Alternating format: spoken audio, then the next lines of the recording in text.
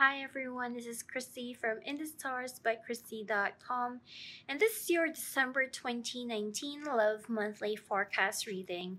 So just a quick disclaimer that this reading is going to be very general and it may or may not really tune in with the rest of you guys even though I can make very solid predictions because how I do my readings is really predictive. So just keep that in mind. So accept what you want to hear and ignore the rest if that is what you want. But I would suggest that to keep in mind all the informations over here because I really want to share you guys what I'm picking up and that can lead to help you guys on how to navigate the entire month of December in case some some situations come up for you. So um yeah, for a more personal prediction and reading that is for you for your own situation you can do that by ordering a reading and booking a session with me through my website in the stars by krissy.com i would advise you guys to check in with your sun moon and rising sign um, and combine all the information right there to make it more um, to connect with you basically so that you can gain a lot more information throughout this reading session even though it's just free here on YouTube. So um yeah, thank you guys for tuning in with me and let's get on with the reading. Okay, so Aries, Sun, Moon, and Rising sign. This is your December 2019 Love Monthly Forecast reading with me, Krissy, from InTheStars by Krissy.com. And again, this is a general reading, so it will connect and it may not connect with you entirely. So, um, yeah, just wanting to express that again and again that the only way for me to do a reading and make a prediction specifically for you and your own situation is to get a private session. So, um, yeah, I do get a lot of emails and comments um, mentioning about the predictions. And all I can really say is that, you know, it's not necessarily for you. So whether they're positive or negative, you know, I don't want to be negative to someone. I mean, who wants to be negative with someone, right? But um yeah, I just want to tell you guys that hey, this is what I'm picking up take it or leave it. Okay, so um yeah. Um, I did pick up a few cartomancy cards over here just to give us an idea of the energies in place. And we have a lot of blacks over here and a lot of um, difficult energy as well. So for some of you guys, I kind of feel that this could be a situation of difficulty in relationships or something is about to culminate in terms of your relationships. We have the nine of spades over here, the four of spades. This is a situation wherein things are isolated and cramped. The two of clubs is about relationships, you know, the bond that you have maybe with a certain person, you know, the jack of spades. So, um, yeah, with the four of clubs over here, like, you know, something is about to happen regarding this situation, regarding this relationship that is not moving forward, not progressing, something like that. So, um, maybe this is the focus of the reading. So, but, um, hey, let us see. I'm opening up the cards now. Let's see what we have here. With your current situation, you do have the Ace of Swords and the Strength card.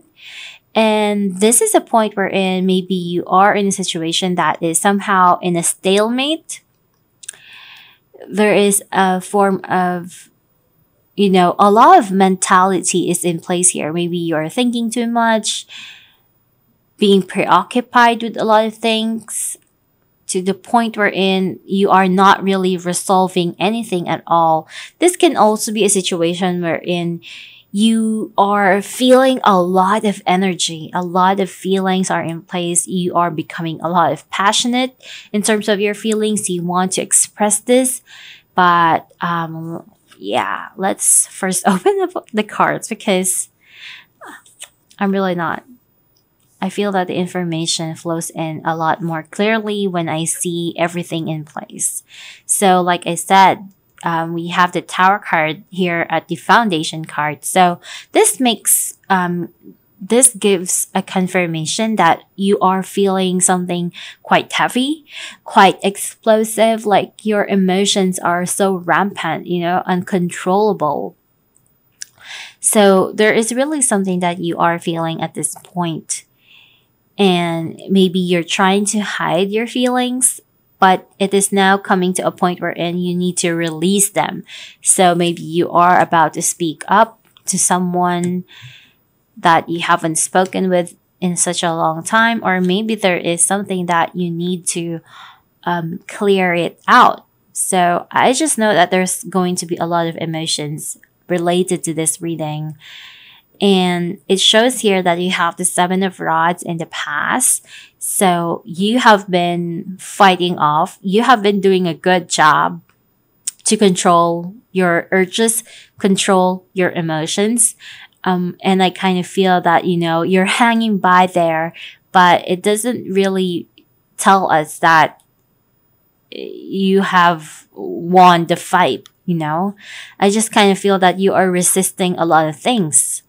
You're not really resolving anything, but you are resisting the energies in place.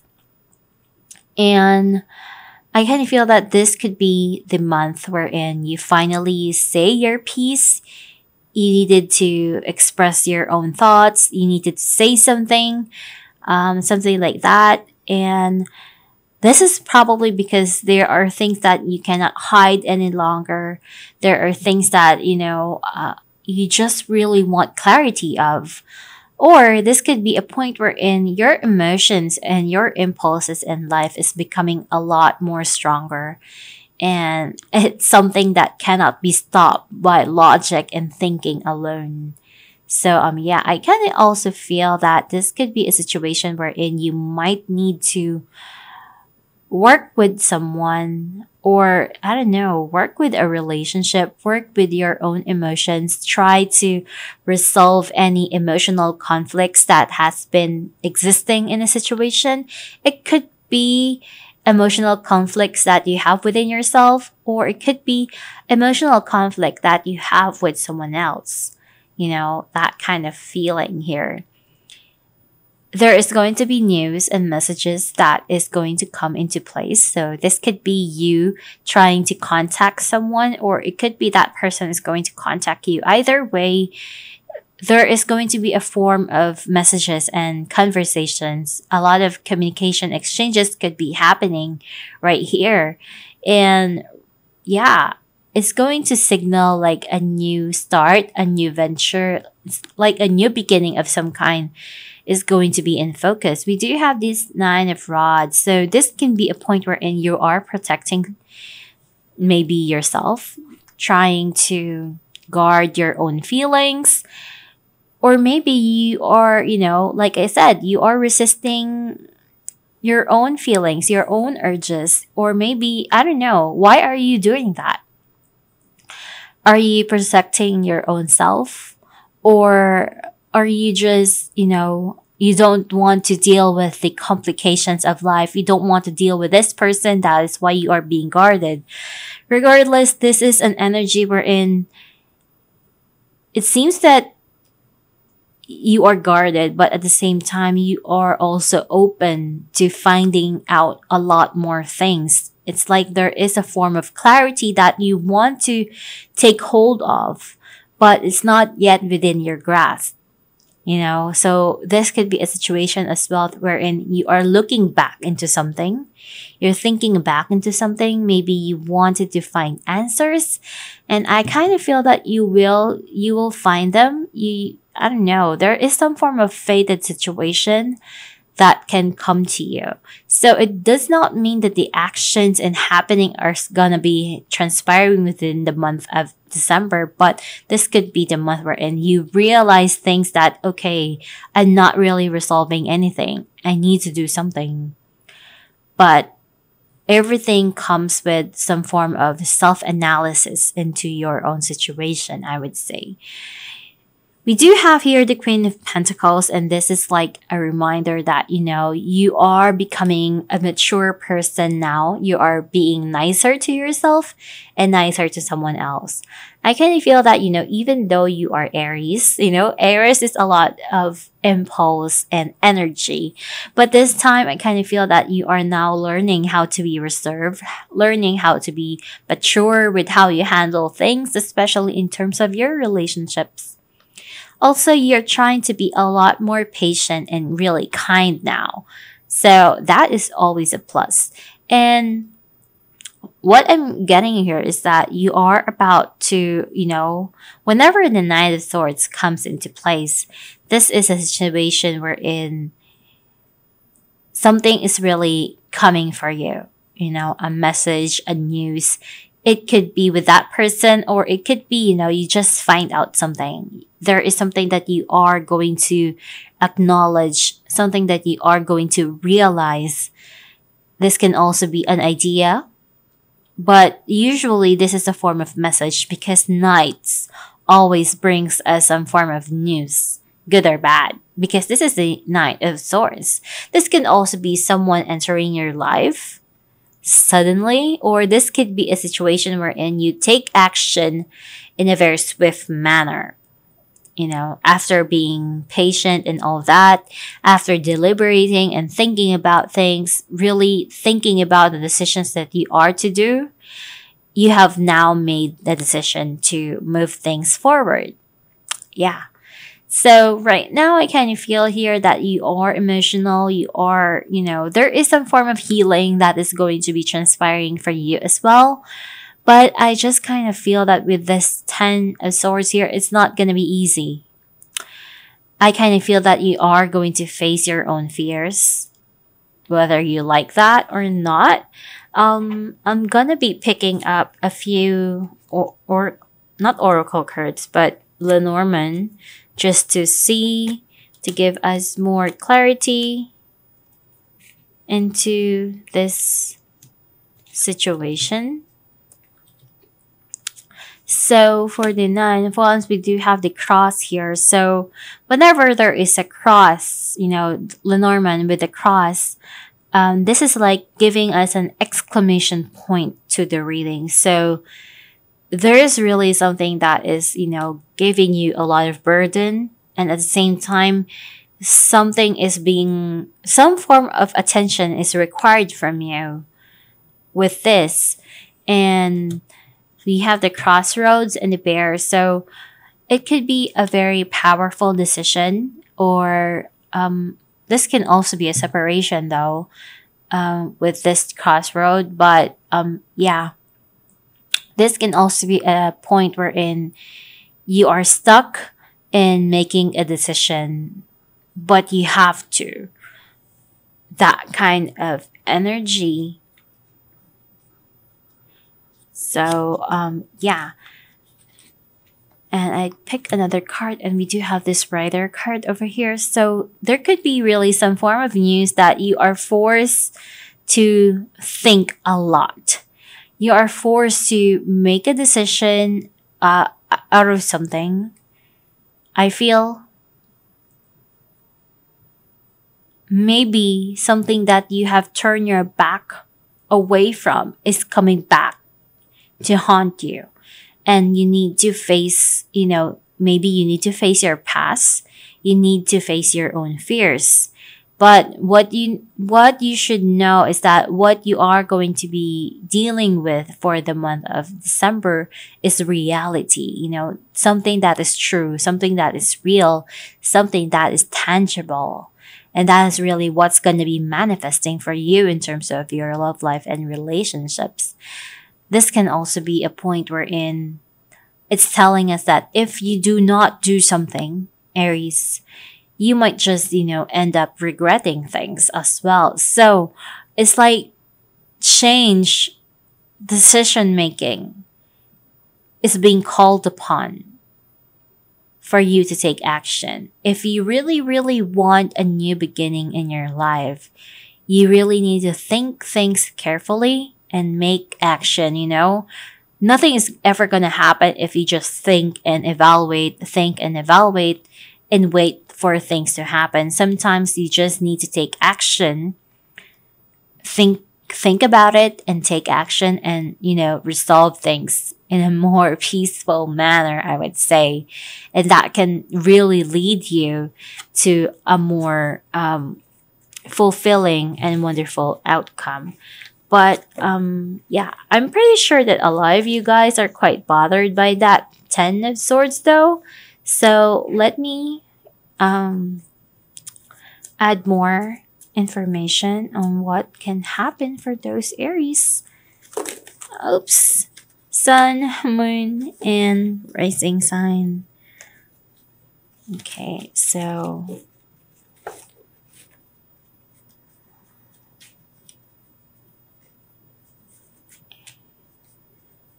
terms of their love life.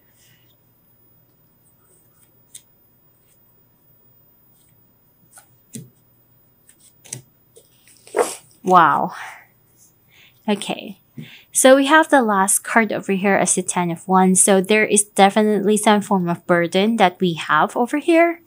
But with the High Priestess, the Page of Rods, this feels like, you know, there is going to be a message that seems fated. We have the Empress card over here. So, you know, it is, it has some form of good news to come in terms of relationships but I kind of feel that, you know, this is a situation we're in. Something is going to tip off, you know. The stagnancy of a relationship is finally going to change.